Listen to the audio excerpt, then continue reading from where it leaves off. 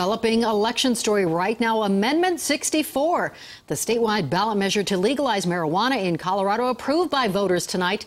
Despite a long list of Colorado politicians against this measure, numbers still coming in. But as you can see right there, a resounding yes, 53% to 47%. And 7 News reporter Lindsay Sablan with supporters of Amendment 64. Still a lot of questions, Lindsay, about how this will be implemented since it's a federal crime to possess marijuana.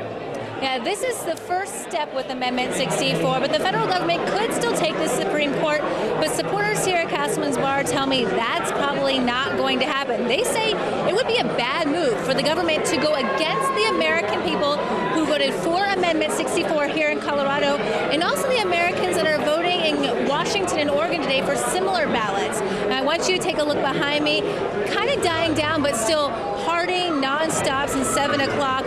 Again, those numbers not all the way in here in Colorado, but vote no on 64 conceded earlier today, and they had their speech saying this has been a long time coming. Now, just kind of the nuts and bolts of this, this legalizes marijuana for adults 21 and older.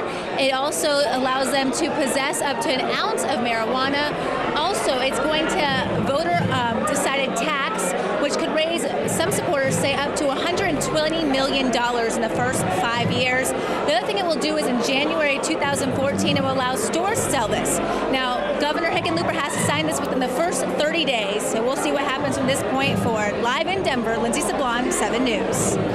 7